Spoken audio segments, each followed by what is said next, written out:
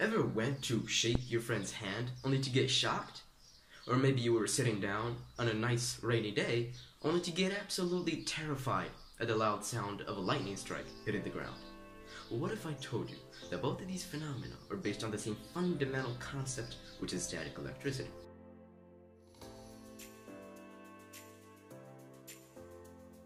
Now, in order to understand this phenomenon, we first have to take a look at the composition of an atom. Now, an atom consists of three main parts.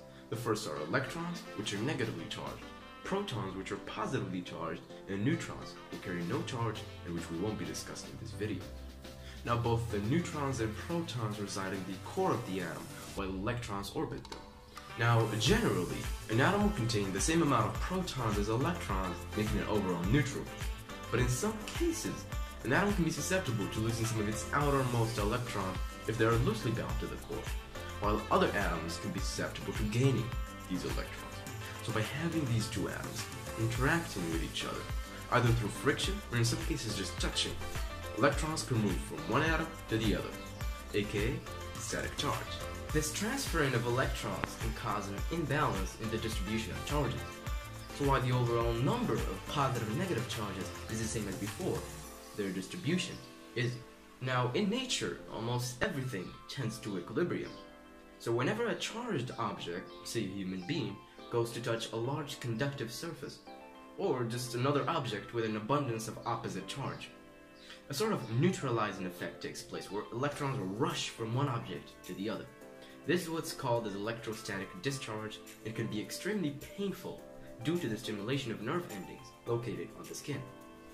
But what can be considered as nothing more than a nuisance at home can quickly become a very dangerous and even deadly phenomenon outside. I'm of course talking about lightning, as it too is based on the same concept. Now, while scientists are not quite sure as to how it forms, a theory suggests that it's due to the heavier particles inside of the cloud that are falling down, colliding with the ice crystals going up. This causes a transfer of electrons from the ice crystals to the heavier particles, which in turn causes the bottom of the cloud to become negatively charged. These negative charges then get released to the ground in the form of lightning. An experiment that you can do at home and that can demonstrate some of the other effects of this force goes as follows. Get a balloon and fill it up with air. Tie it up and then rub it on someone's hair. What this does is it makes the loose electrons in your hair move over to the balloon, making it negatively charged.